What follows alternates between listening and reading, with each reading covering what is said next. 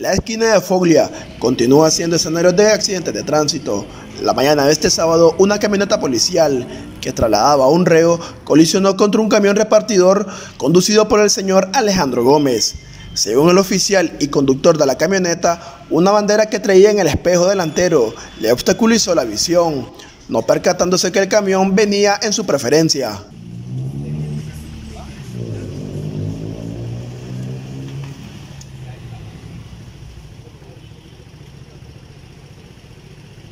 Sí, venía a mi preferencia. Dice el oficial que es lo que lo tapó fue la bandera que llevaba adelante.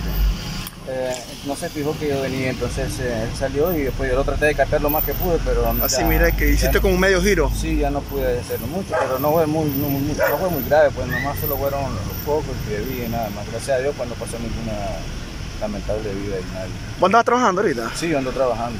Ok, hermano, todo solo daños materiales entonces. Solo daños materiales, nada de golpes ni nada. ¿Vas a arreglarte con ellos? ¿Ellos van a responder con la...? Sí, pues parece que vamos a esperar el seguro y todo, porque estamos esperando. El reo fue trasladado por otro vehículo policial, mientras que los conductores esperarían al oficial de tránsito y que el seguro respondiera por los daños materiales.